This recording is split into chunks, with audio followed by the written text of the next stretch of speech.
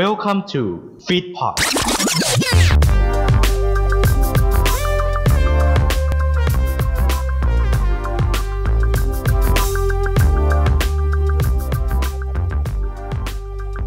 เมื่อความชอบมันกำลังกลับมาอีกครั้งหนึ่ง ผมก็ต้องกลับมาด้วย แต่ในเวอร์ชันไหนลองมาดูกันในสิ่งที่กูชอบ สิ่งที่กูชอบ 3 โดยนัทนันทวัฒน์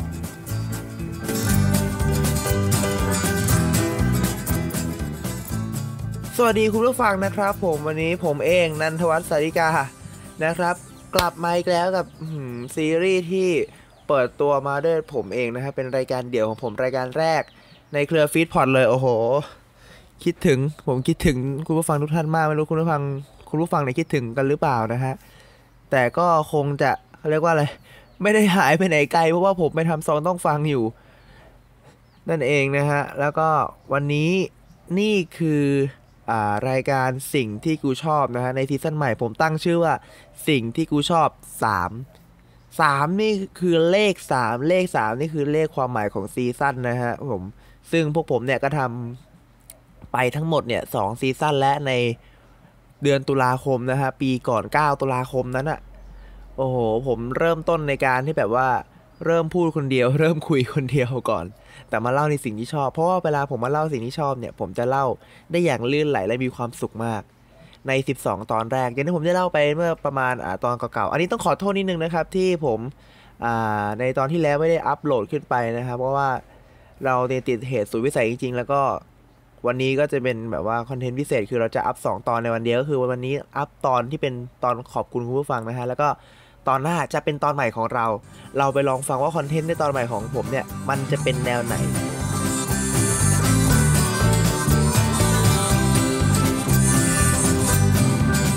ซึ่งไม่ต้องบอกก็รู้เลยว่าครับผมว่า mood and tone เนี่ยในการพูดของผมครั้งนี้จะไม่เหมือนครั้งเก่า ครั้งเก่าเนี่ยผมพูดอารมณ์ประมาณแบบว่า โอ้โห เฮ้ยเรื่องนี้นะครับ โอ้เรื่องนี้มันดีมากเลยครับ เรื่องนี้ ครั้งนี้ผมจะพูดในแนวทางของความเป็น comedy เพิ่มขึ้น ความตลกผมจะใส่ความตลกเข้าไปเพิ่มขึ้น ผมจะใส่อ่า inner ในการเล่าเรื่องมากขึ้นนะครับ ซึ่งถ้าเป็นไปได้ผมก็จะพยายามทำมากขึ้นในทุกๆ ตอน ซึ่งใน EP ที่ 20 ต้องอย่างที่บอกกล่าวไปใน EP เก่าๆเลยว่า สิ่งที่กูชอบชอบได้อย่าดูถูกกัน ครั้งนี้สิ่งที่ผมเล่าเล่าได้ และเอาไปคิดกัน อันนี้คือสโลแกนใหม่สิ่งที่ผมเล่าเล่าได้ก็ลองเอาไปคิดกันนะครับผมสโลแกนใหม่ในซีซั่นสามแต่ว่าใครจะใช้สโลแกนไหนอันนี้ก็แล้วแต่เลยนะครับเพราะผมชอบ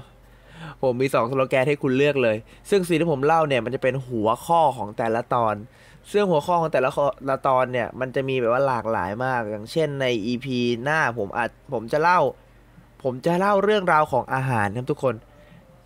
เดี๋ยวลองมาดูกันว่าเรื่องราวของอาหารเนี่ยมีเรื่องราวอะไรที่ที่แบบว่าน่าสนใจที่ผมอยากจะเล่ามาก ทีเนี้ยคุณผู้ฟังฮะเราจะได้รับความรู้ใหม่ ๆ หรือข้อมูลใหม่ ๆ เกี่ยวกับเรื่องราวของอาหาร ซึ่งมันเอ้ยแล้วมันเกี่ยวกับความชอบยังไงที่ผมจะนำเสนอ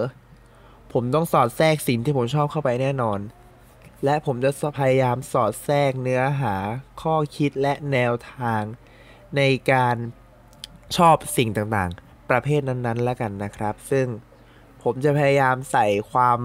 รู้และก็ความเป็นผมให้มากที่สุด ซึ่งที่พบพบผ่านกันมานะสองน้องฟังในความเป็นผมนี่โคตรเลวระยำเลยนะ ถ้าใครไปฟังสองน้องฟัง แต่ว่านั่นก็คือ part หนึ่งที่ผมอยู่กับเพื่อนๆ อยู่กับพี่ๆ แล้วมีความสุข part นี้ผมก็มีความสุขในรูปแบบของการพูดเพื่อให้คุณผู้ฟังหลายๆ คนนะครับผมได้ฟังได้รับ ความรู้พร้อมความสนุกไปด้วยกับพอดแคสต์ สิ่งที่กูชอบที่กลับมาในครั้งนี้ ผมตื่นเต้นมากที่จะพูดว่าผมกลับมาแล้ว และก็ต้องขอพูดด้วยความน่าเสียใจครั้งหนึ่งว่า season นี้น่าจะเป็น season สุดท้ายที่จะทำไปแล้วนะฮะ ของรายการสิ่งที่กูชอบ ต้องแบบว่า อาจจะไม่ถึงแม้ถ้าสมมติมี season มี season ใหม่อาจจะไม่มาในเร็ววันนี้ อาจจะเป็นแบบว่าอ่า สักปีสองปีสามปีอะไรเงี้ยผมอาจจะเว้นห่าง ซึ่ง season นี้ก็ถือว่าเว้นห่างมาเยอะพอสมควรแล้วก็คือเว้นตั้งหกเดือน กลับมาในครั้งนี้ผมว่า ผมหวังว่าคุณผู้ฟังอาจจะได้ความสนุกในครั้งนี้เพิ่มขึ้นจาก 2 season ที่ผ่านมา ซึ่งครั้งนี้ต้องยืนยันว่าผมเนี่ยจะพูดคนเดียวโซโล่เดี่ยวแน่นอน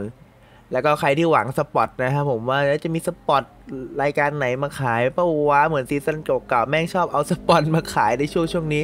ไม่ต้องห่วงครับ มีแน่นอนแล้วผมก็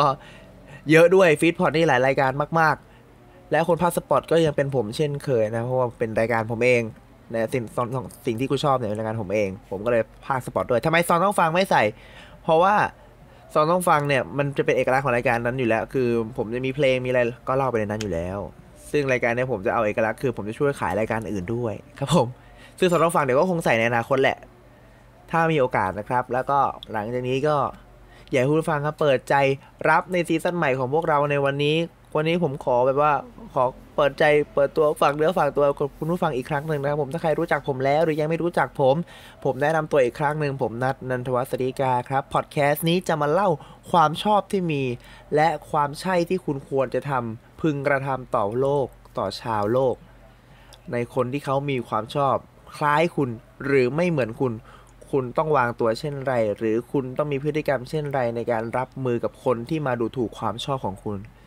แต่สิ่งหนึ่งที่ผมอยากจะฝากในทุกๆ ครั้งเลยว่าความชอบเนี่ยชอบได้นะ แต่อย่าดูถูกกัน หรือสโลแกนใหม่นะที่ผมกำลังจะสร้างขึ้นเมคขึ้นคือ สิ่งที่ผมเล่าเล่าได้ แต่เอาไปคิดกัน แค่นั้นเองครับผมอยากจะฝากคุณผู้ฟังแค่นี้ในประมาณพอดแคสต์6ถึง7นาทีในของเราใน EP นี้ EP หน้าเล่าเรื่องอาหาร มาดูซิว่าผมจะเล่าเรื่องอาหารอะไรบ้างที่เกี่ยวพันกับความชอบงงสิมันจะเกี่ยวอะไร EP หน้า เจอกันครับสำหรับวันนี้สิ่งที่กูชอบชอบได้ แต่อย่าดูถูกกันครับ